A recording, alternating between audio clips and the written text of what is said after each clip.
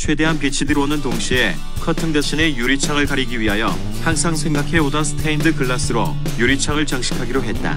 유리 페인트 공예는 쉽게 누구나 배울 수 있는 취미 생활 중 하나이다. 먼저 알코올로 창을 깨끗이 닦고 원하는 패턴을 결정한다. 레벨을 이용하여 수평을 잡으며 펜으로 미리 선을 그려놓는다. 직선 구간은 직접 그려 넣어도 되지만 이미 접착제가 뒤에 붙어 있는 Redi-Lead라는 상품을 사용하기로 했다.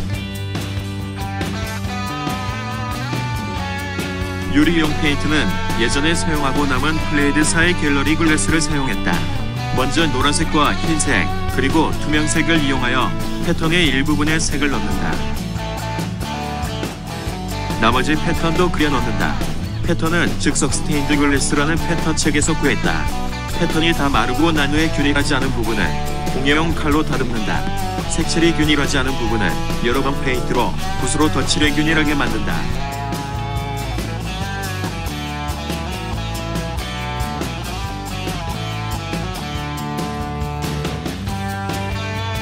유리용 페인트는 적어도 세 가지 종류를 사용할 수 있다.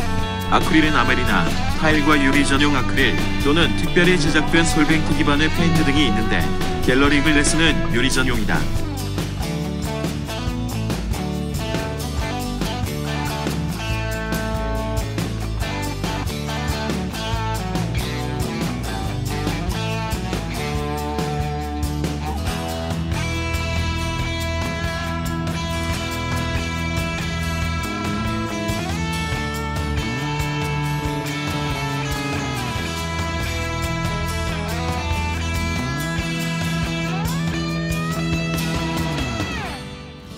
패턴의 빈 부분은 검은색 페인트로 꼼꼼히 채워준다.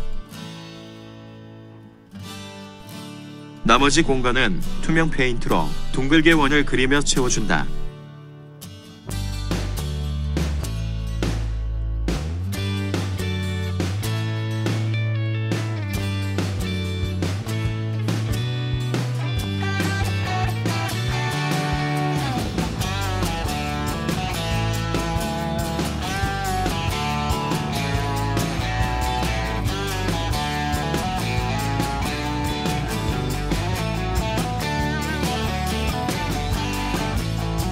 이제 페인트가 마르기만 하면 완성이다.